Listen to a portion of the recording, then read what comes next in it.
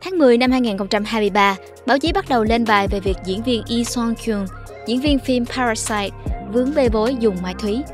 Các cuộc xét nghiệm nhanh hay chuyên sâu với ma túy của Lee Song Kyung đều cho kết quả âm tính.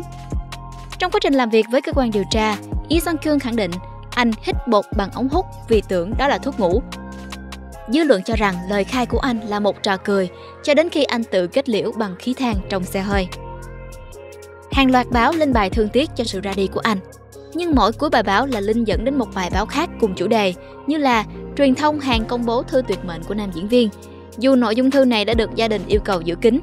Những cái tít giật chuẩn SEO, kèm theo hashtag tên của nam tài tử Lee Son Kyung và vài hashtag khác cho người đọc dễ theo dõi. Tiếp theo là các tiết báo và những người khác nói gì về nam tài tử. Các bài viết phân tích lý do nam diễn viên bị đẩy đến cái chết và các thông tin khác có liên quan. Vòng xoáy thông tin cứ thế xoay vòng, bào mòn tinh thần của người nghệ sĩ từ lúc mọi thứ chỉ là tin đồn, cười cợt trên lời khai của nạn nhân, để rồi lại trích dẫn lời khai ấy lúc nam diễn viên nổi tiếng đã từ giả cõi đời.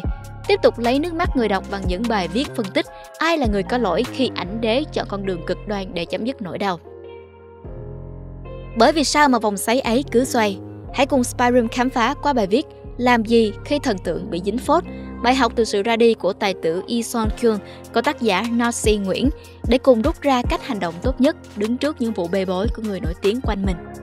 Bây giờ, mời bạn cùng lắng nghe bài viết.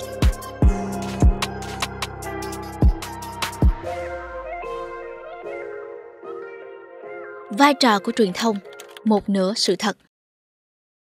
Khi thần tượng dính phốt, một suy nghĩ phổ biến của dư luận chính là không có lửa làm sao có khói. Quay trở lại vụ việc qua đời bằng khí than của nam tài tử Lee Son Kyun, chính truyền thông là thứ đã tiếp thêm vào các suy nghĩ phổ biến của dư luận ấy. Vòng xoáy thông tin cứ xoay vòng, chính bởi vì cái khát khao sâu thẳm của truyền thông qua những bài báo. Bởi có bài là có view, view là KPI, KPI là tiền, còn tiền là nhất. Tại ai? Tại cư dân mạng quá ác ý và không xem sự riêng tư của người nổi tiếng ra gì, và phía hành pháp Hàn Quốc thay vì chọn xử kín lại cố tình làm ồn ào vì đây là người có sức ảnh hưởng, thu hút dư luận.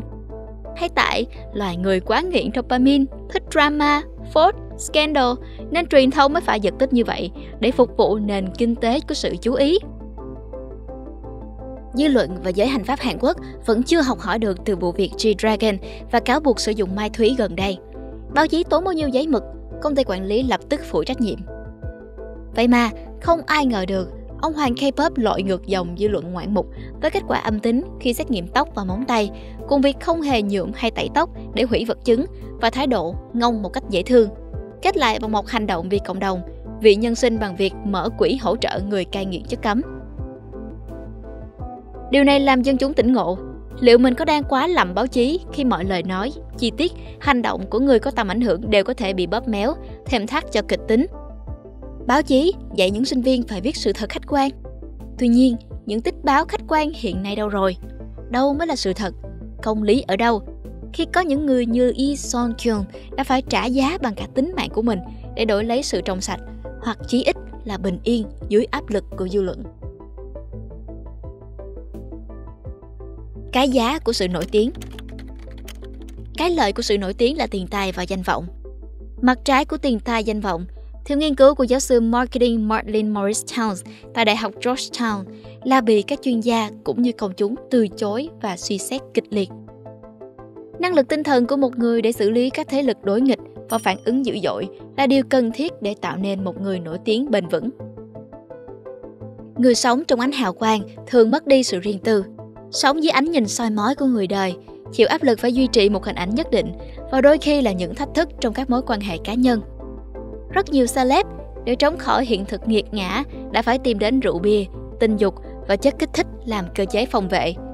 Và rất nhiều lần, như vậy là không đủ vì cốt lõi vẫn là sự tàn ác của loài người.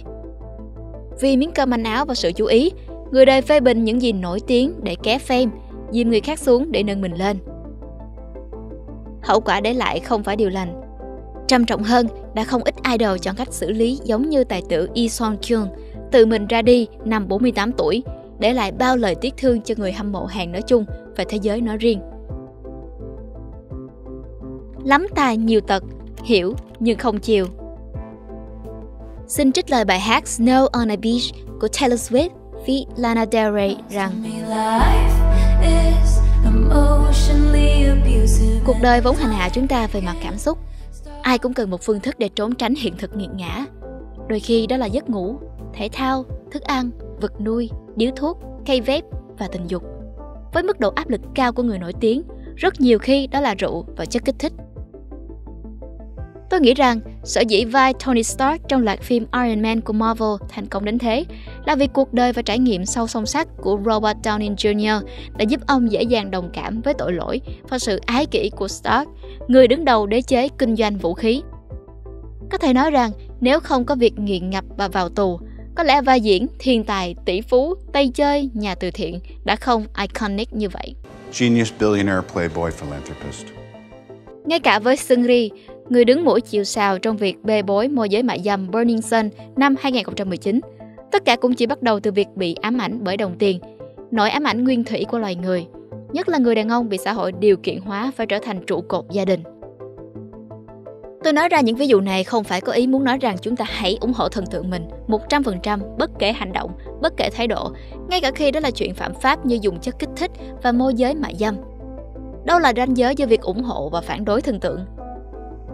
Hiểu nhưng không chiều, đó là tôn chỉ của tôi khi thần tượng phạm sai lầm.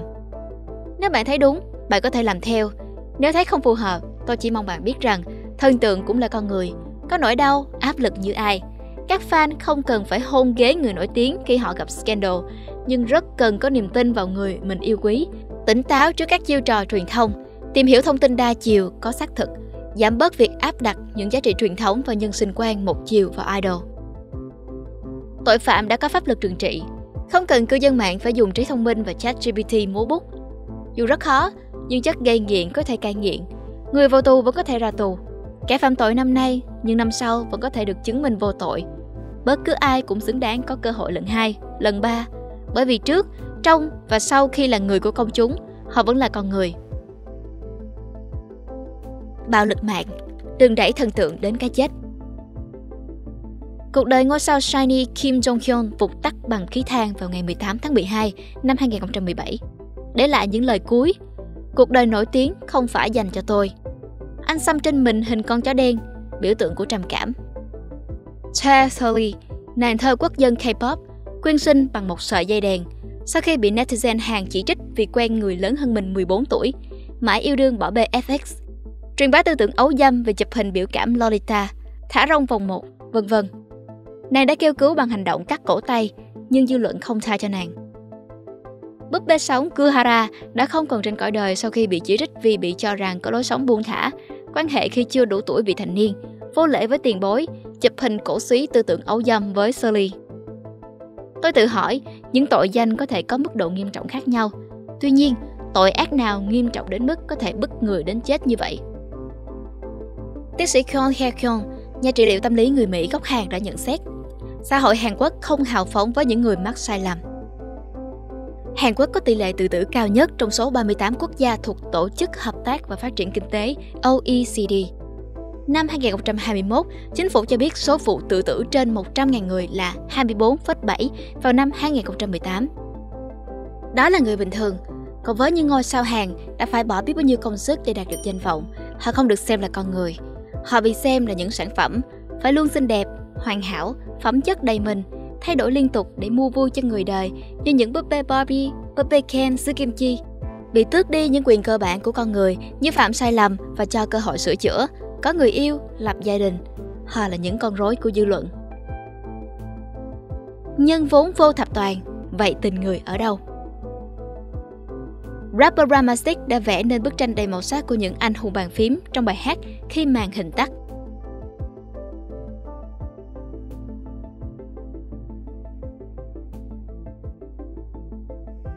Cư dân mạng vốn tiêu chuẩn kép, chính họ chẳng hoàn hảo nhưng lại đòi hỏi các thần tượng phải hoàn hảo thay họ vì đó là người nổi tiếng, là người có tầm ảnh hưởng. Họ mặc sức trở thành phản diện bàn phím để thỏa mãn chính mình, bóc tách, mỉa mai, cười cợt người nổi tiếng, hạ người khác xuống để nâng bản thân mình lên, để quên đi một chút cái thực tại đáng buồn của bản thân mình, núp sau những nick clone để không ai tìm ra họ. Họ cào phím như thế đó là một kỹ năng có thể cho vào CV, để rồi áp lực quá lớn có thể khiến người họ thần tượng từ xa phải chọn cách cực đoan để chấm dứt nỗi đau. Họ lại gõ vài dòng tiếc thương, tôi không ngờ mọi chuyện lại tệ đến vậy. Rồi, khi người nổi tiếng ra đi, những anh hùng bàn phím giả danh tri thức này sẽ trích dẫn những câu nói sâu cay để ngẫm nghĩ về giá trị của một đời người mà không nhận ra rằng lúc đó đã là quá trễ. Một tờ báo khác bình luận về việc Yi Son Kyun dùng mai thúy. Riêng việc có dính líu đến mai thúy chưa cần biết thực hư ra sao cũng đã đâm một nhát dao không thể chữa lành vào lòng tin của người hâm mộ. Dư luận thật dễ tổn thương, dễ sốc, dễ xôn xao, dễ bàng hoàng biết bao. Một tin chưa rõ thực hư cũng là đâm một nhát dao không thể chữa lành vào tim họ. Vậy, ai sẽ chữa lành cho nỗi đau từ cái chết của Yi Song Kyun? Immanuel Kant, một triết gia Đức đã nhận định con người là vô giá, còn cuộc sống vốn vô thường. Vốn là fan ruột của nhóm nhạc Đông Shinki, hồi nhỏ tôi mong được dự concert đầy đủ 5 người. Tuy nhiên, sau vụ kiện lịch sử của ba thành viên JYJ và công ty chủ quản SM Entertainment, sau scandal bê bối tình dục, mai thúy của Uton và tất cả những thăng trầm của giới K-pop nói chung và cuộc đời nói riêng. Tôi chỉ mong các anh còn sống và bình yên, không ra nhà cũng được, lập gia đình nếu các anh muốn, lấy người các anh yêu, miễn là các anh vui và hạnh phúc. Ước muốn của tôi chỉ đơn giản như vậy thôi, nhưng đôi khi những điều đơn giản lại là điều khó đạt được. Nói một cách ngắn gọn lại, có hai điều mà tác giả Narcy Nguyễn muốn nói qua bài viết này về câu chuyện thần tượng dính phốt.